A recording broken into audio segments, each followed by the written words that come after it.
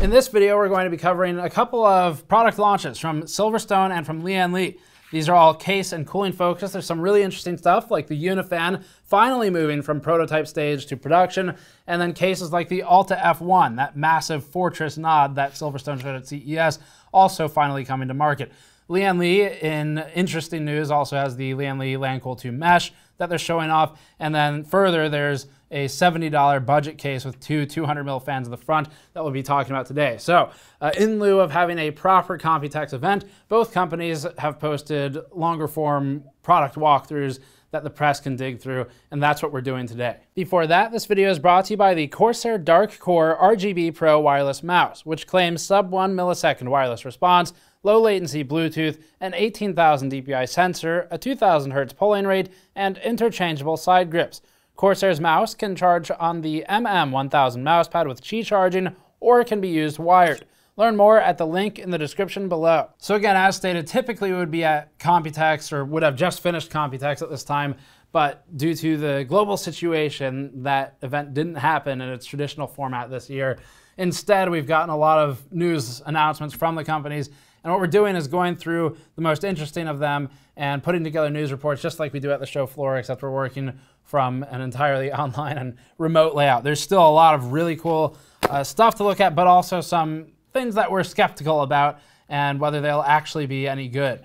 Uh, so let's get started today with Lian Li and Silverstone. We'll walk through Lian Li's stuff first and then get to Silverstone's. And as a note as well, some of these products we actually already have, uh, especially the Lancool 2 mesh and there are reviews coming up on those. But we can go through the news in the very least. let's start with Lian Li. Lian Li mostly highlighted some product announcements and formal launches of products that we've been covering in various states over the last few years, including things that were as early as prototype stages when we saw them previously, like the Unifan daisy chained fans that we've covered at at least a few events at this point, and they were seen as early as prototype stages when Lian Li didn't even know if it would ever sell the product.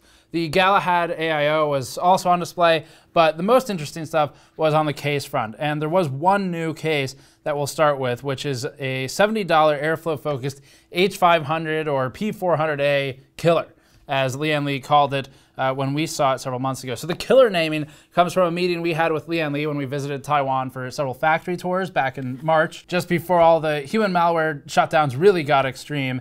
And uh, we got to check out the case early back then, but we couldn't talk about it yet. So we were shown the new case, and the goal for Lian Li is to swoop into the more budget-oriented market. As a reminder, Lian Li, up until the O11 Dynamic and some recent Lancool cases, never really was a budget case maker. It sort of had to from the perspective it was in previously, almost stepped down to that category. But it's been a good move because it's really made the company uh, a lot more widespread. So the goal is to get in and undercut some sales from other airflow competitors. The P300A would be one of those directly competing the NR600. The P400A is another direct competitor that's gotten a couple of awards from us. And then the Cooler Master H500 Blank, especially, would be another direct competitor. So we haven't tested this case yet. It is called the Lancool 215, and we'll put it through the normal review process once it's closer to launch and once we have one in hand to test. For now, though, we can go over the basics of the Lancool 215.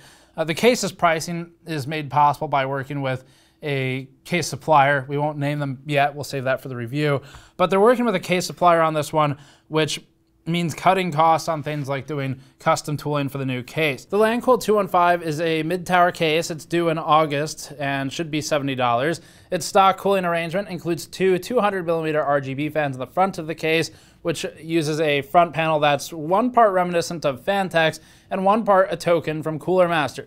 The case doesn't appear to do anything new or revolutionary for ease of installation or add-on features, and is instead focused on providing the bare minimum steel-walled chassis for a motherboard and some fans with a focus on cooling. That's fine, there's a market for that too. The case claims support of a 360mm front-mounted radiator, but this is pointless for a few reasons. If you're spending $70 on this case, most of the money you're spending is going, well, a lot of it's going towards those two 200mm fans. And Additionally, people who are buying cases with 200 mil front fans typically buy it because they like the look of that. It's a really unique look where you're filling the whole thing with two big halos. And you see that with the H500 series as well, where if you're replacing that with a radiator, then you gotta really like the look of the case without the fans, because otherwise you're just overpaying for a bare bones case, and you should probably buy a P300A instead.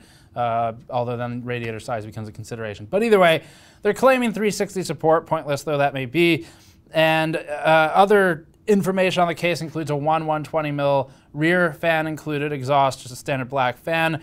Uh, so this is a pretty traditional configuration for a 200 mil front intake case where you typically have the 1 120 back to help out since static pressure is kind of weak from those front fans. We've mostly seen other mesh fronted cases do well in testing. It's not always the case that, that happens, but normally it does well if the uh, dust filters and mesh are not too restrictive against the pressure of those 200 mil fans. It's what really gets bad is when you're mixing dust filter and case paneling that ends up with uh, some of the, the filtration wiring and the holes in the mesh misaligning because then now you're really fighting a lot of material and 200 mil fans are pretty weak. They can do really well, but they're really airflow focused and, and not particularly strong to get around uh, barriers and impedance.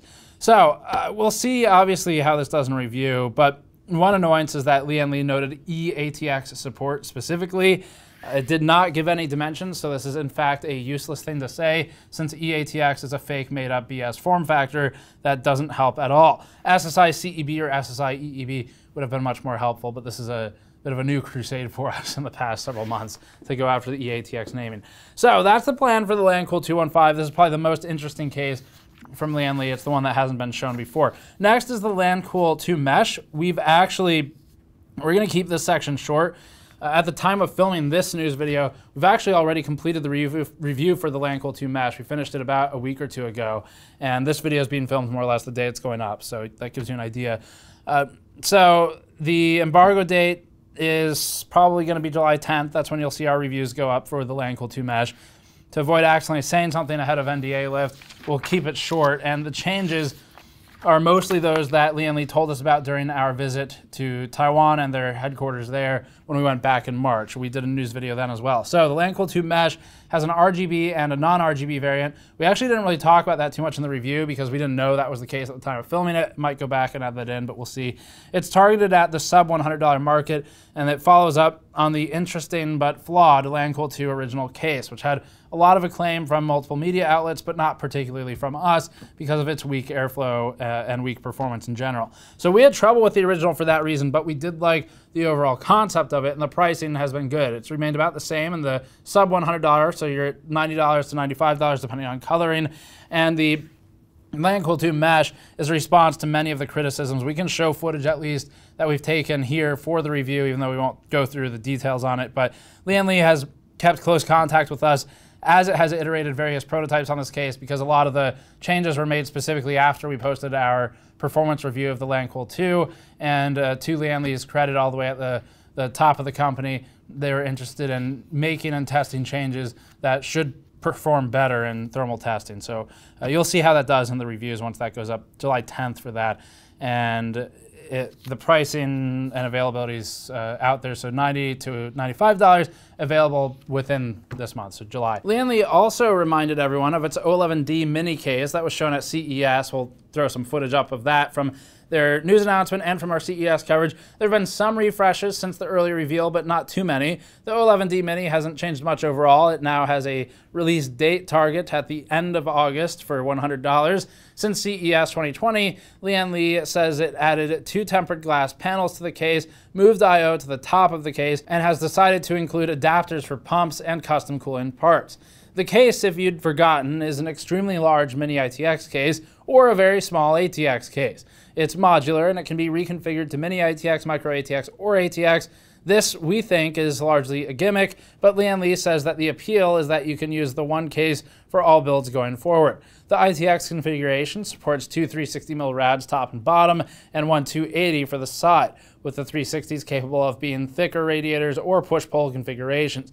The MATX option can fit the same adapters, but is limited to 55mm thickness for the top and bottom coolant. ATX didn't mention top or bottom radiators, but still supports a 280mm side mount. Lian Li also updated its Odyssey X. The Odyssey X was shown at Computex previously and CES after that, that. It's one that we're really not that interested in, frankly. It's, it's again, it's a Halo product, $400, available September.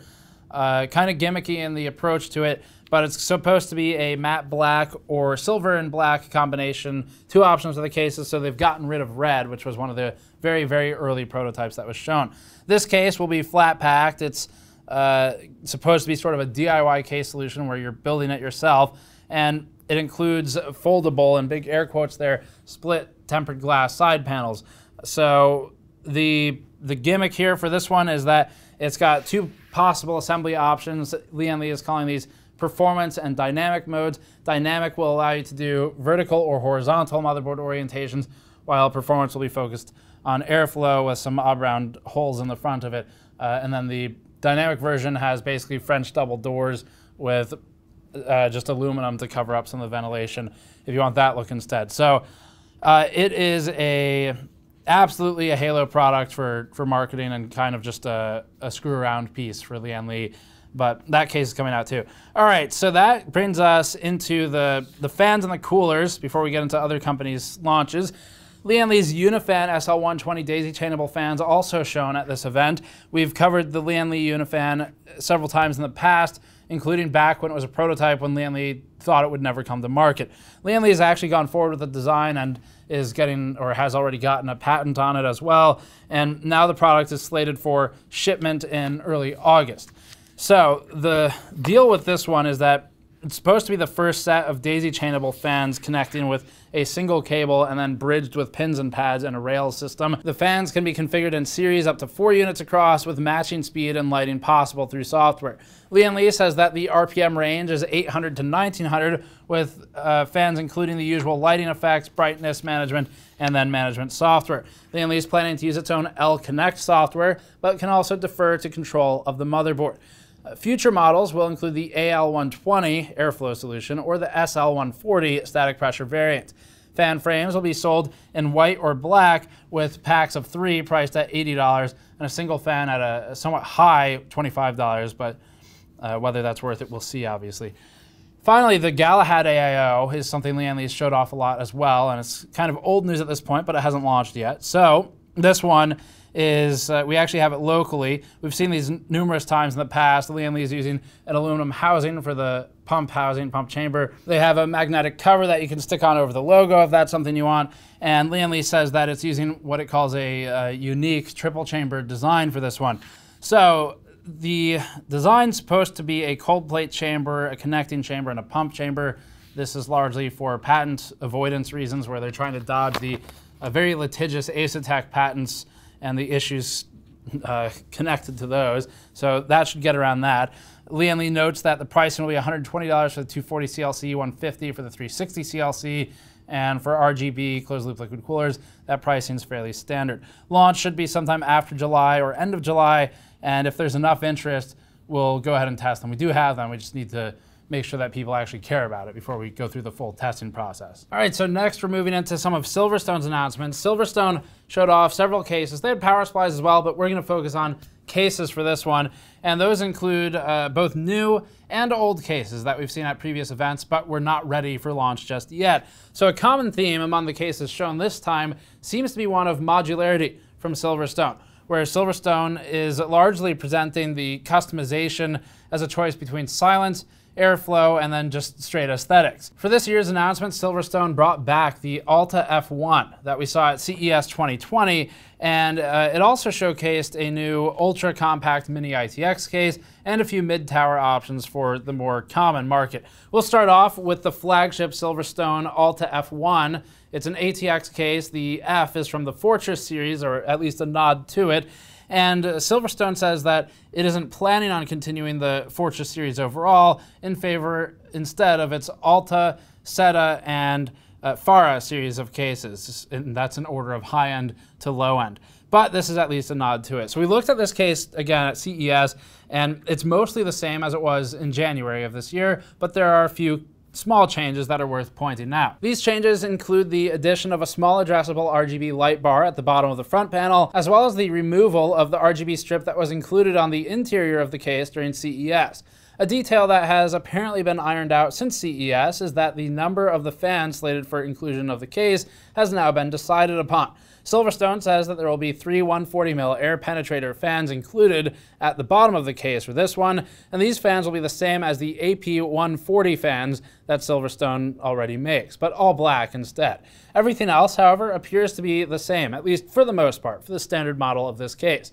The case features a bottom to top airflow configuration as opposed to the standard front to back configuration with the option to mount a 360mm radiator at both the bottom and at the top of the case. The bottom of the case, technically speaking, isn't elevated with any sizable feet, and we can, uh, at, in the very least, show some footage from our CES coverage of it to show that off because that hasn't changed too much. So air isn't being pulled directly from the bottom of the case, but rather through two vents on each side of the case at the bottom. This should hopefully lend itself to adequate airflow for bottom-mounted radiators, but it remains to be seen whether this solution is effective. As we said during CES, the slots seem to be fairly large, so airflow might actually be okay. The Alta F1 has a rotated layout along with a vertical GPU mounting bracket, making it a truly vertical GPU mount, perpendicular to what we would typically call a vertically mounted card. The cables in this case are intended to come out of the top of the PCI expansion area where they can then be routed out the back of the case. The Alta F1 is going to come in a couple of different variants. Most of those are color changes, but there's a, a a functional change as well. So there will be a, a, black version, there's going to be a silver version, and then a silence version, they're calling it. The black and silver versions will come with tempered glass on each side, while the silence version will instead have two steel panels on the sides and then we'll be focused on noise damping uh, with material on them instead. All these panels release with a button at the back of the chassis. This has become more common with high-end cases lately. And this case is expected to start shipping sometime in September with an expected price in the range of $180 to $200. The silence-focused option is potentially going to be a little bit cheaper because of the lack of glass. Next up is the SETA H1 and Q1 ATX cases that Silverstone's working on. So Silverstone's working on these in the form of uh, an airflow version, that'd be the H, and then a silent version, which would be the Q. We'll start by taking a look at what's the same between the cases because they're the same body, and then we'll look at the differences. So both the H1 and the Q1 are ATX cases with support for dual socket EATX, as you may call it, SSI EEB boards.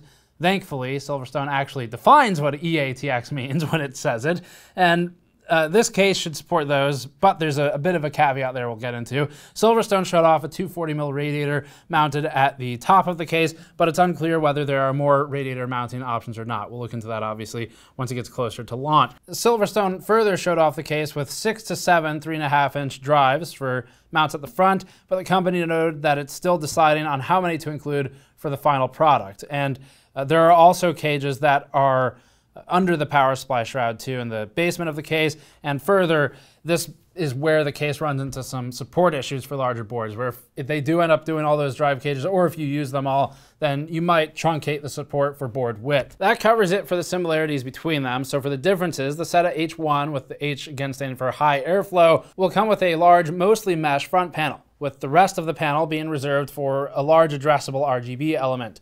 This case will likely come with three black 120mm fans on the front intake, but Silverstone is considering the addition of another fan for exhaust as well. The H1 will also come with a tempered glass side panel. The SETA Q1, with the Q standing for quiet, is a silence-focused version of the case with a few key differences.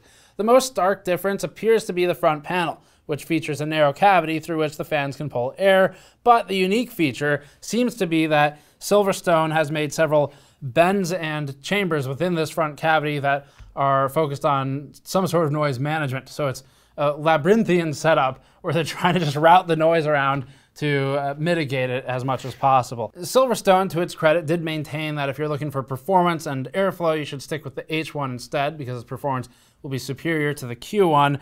Uh, and it also noted that the other deviations from the H1 for the Q1 would include a steel side panel with noise damping material and a different top panel with removable noise damping material to allow for more silence or airflow options up to the user. The SETA H1 and Q1 are expected for delivery uh, around the same time in late Q3 or early Q4 for the launch window, with pricing at 120 to 140 dollars for these cases. Fara and the V1 back next. So the Fara V1 RGB M-ATX case is the next one we're talking about. The, this is a micro ATX case. It's been a largely abandoned form factor by a lot of the case manufacturers, and although it's still somewhat popular online, the end result of people getting three options, or mostly three options, is that typically they'll choose the extremes and leave the middle out. And so a lot of case manufacturers have backed out of micro ATX manufacturing in general, but it's still getting addressed somewhere. And Silverstone right now is the one providing another option to that market. This one is a pretty standard entry level case. Uh, the Fara V1 RGB has entirely new tooling. It's longer than other Silverstone micro ATX cases that you may have seen in the past or that we may have covered in the past. So it should be able to fit most triple fan video cards, unlike some of the previous versions of micro ATX cases from Silverstone. The case has a large V-shaped element, uh, also RGB on the front, and that's where the V1 naming comes from. The V terminates into a single RGB fan at the bottom of the case. The case will also include a tempered glass side panel as expected now. Uh, it's expected to launch in Q3 of this year at a price of 70 to $80, potentially positioning it as a semi-budget option for micro ATX fans. The last one from Silverstone is the ML10, which is an ultra compact mini ITX case. So this final case is the most modular out of the lot that we've talked about today. And it's also the smallest option that was so shown. Silverstone also had, as it always does, about a million other things that it announced or launched. But just like we have to do at trade shows, we ended up picking and choosing the most interesting for our audience. And if you want to see the rest, then surely they'll have some kind of press releases and posts at some point. But these are the ones we thought our audience would care the most about. So the ML10, uh, we won't spend as much time on. There's no discrete GPU support, but that's because discrete video cards are large even at the smallest. And so that doesn't quite work with what the case is trying to do. The case will include two front and top panels that change the volume of the case between 2.8 liters and 3.7 liters, and that depends on how much hardware uh, and cooling potential that you want to cram into the small box.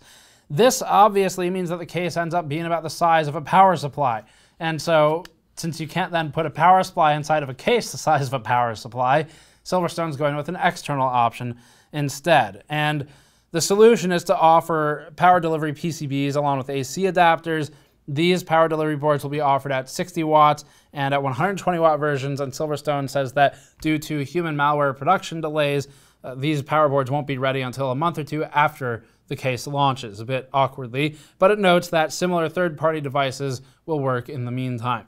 Now, the case will launch uh, late this month, so that's July, at a price of around $70. Silverstone says it, it doesn't know yet the price of its intended to be sold separately power or PCB device, uh, but you can keep an eye on it. As stated, though, there's already other options on the market if that's something you want. So that'll be it for this one. We're going to keep it just cases and coolers from Silverstone and Lian Li for this coverage.